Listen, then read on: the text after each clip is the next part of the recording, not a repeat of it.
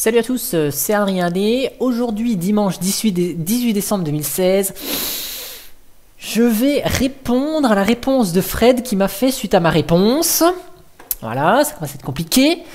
Peut-on faire baisser la consommation mémoire de GNOME 322 Donc, euh, monsieur Fred, j'ai regardé ta vidéo. euh, si on commence à se faire une bataille de vidéos, on n'est pas rendu. Hein.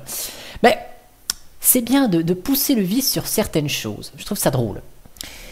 En fait, il avait dit, euh, ce petit monsieur, que euh, donc euh, Gnome, Gnome, Gnome bouffait 860 mégas de RAM avec GDM et Wayland. Il a fait le test avec GDM et pas Wayland ici, donc on en est au même point, 867 euh, dans les, grosso modo dans les mêmes zones. Mais il a joué le malin en virant GDM et en prenant l'IDM qui est beaucoup plus léger. Et là, avec l'IDM, on est à 879 mégas de RAM. Alors, euh, 879 mégas de RAM. On est encore un peu plus lourd que KDE, d'accord? Mais il faut bricoler pour avoir un l'IDM. Je tiens à noter un petit truc qu'il n'a pas noté. Il a voulu peut-être esquiver la question. Mais regardez, avec Wayland, le CPU est quasiment à 100%. Quand il fait rien. Avec Xorg, hop là, le CPU est aussi à 100% quand il fout rien. Bon, avec euh, Xorg, le CPU il est à euh, 30% quand il fait rien. Alors, je vais relancer ma super machine virtuelle parce que j'ai pas fait de nouvelles vidéos, donc je rappelle que nous sommes toujours avec la même. Enfin, j'ai toujours ma vidéo, euh, ma machine virtuelle vidéo. Voilà, donc je me connecte. Vous remarquerez d'ailleurs que KDE est long à charger, d'accord, mais il est quand même moins long que GNOME à charger. Hmm donc, je vous montre qu'on est toujours. Alors, euh, avec KDE, on n'a pas de Wayland. Donc, euh, l'affaire est vite pliée. C'est du Xorg. Alors, par contre, là, la vidéo, euh, enfin, la machine virtuelle me fait mentir parce que KDE est long à charger. Ah oui Donc, voilà, on retrouve mes euh, 600. 660 mégas euh, de RAM. Donc on est comme GNOME, mais avec SDDM. Alors déjà par contre il y a un truc qui me plaît juste pas. Ce qu'on va faire c'est... Hop là, voilà.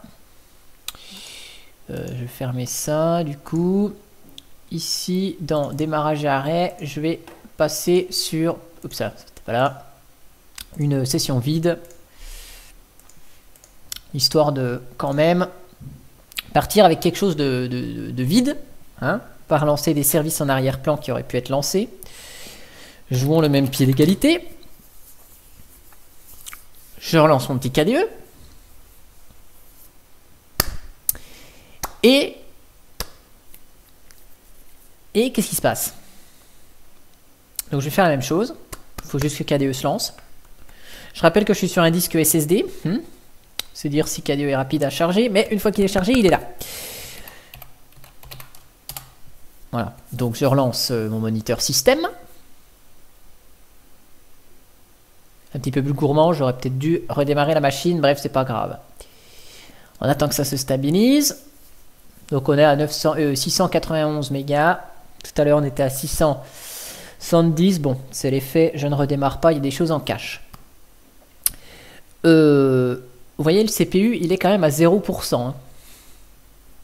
Et je vous montre bien que,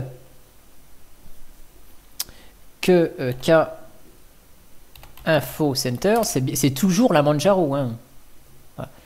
Alors, le CPU est à 0%, vous voyez des pics des fois, parce que en fait, c'est juste Kwin. hein. Si vous faites ça, le compositeur, il mange du CPU. Voilà, c'est tout.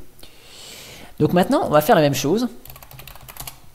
Et on va désactiver SDDM pour installer et activer l'IDM. Donc sudo sudo quoi? Euh, Non, alors il n'y a pas besoin de faire sudo, il y a ourt-s lightdm. Hein?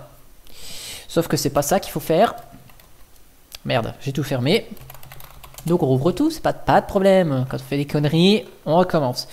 Il y a ourt-s lightdm gtk gritter.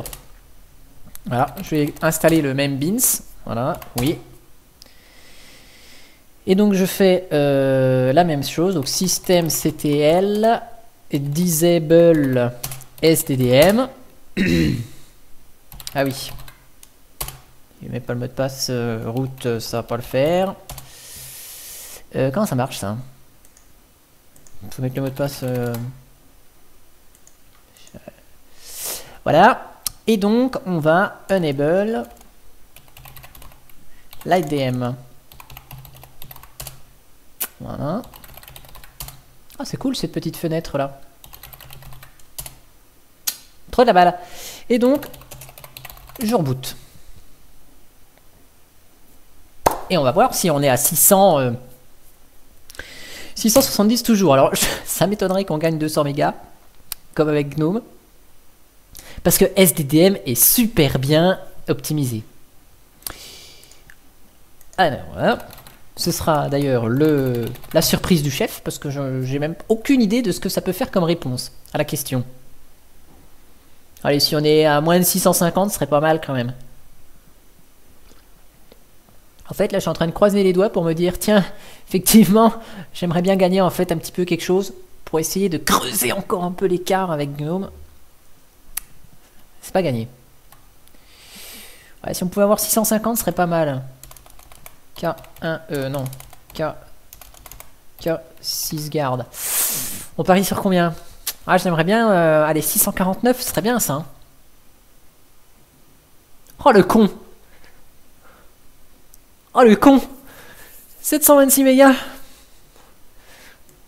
Alors, euh... D'accord. je me marre tout seul en fait parce que on prend l'IDM qui est censé être plus léger et l'ensemble est plus lourd.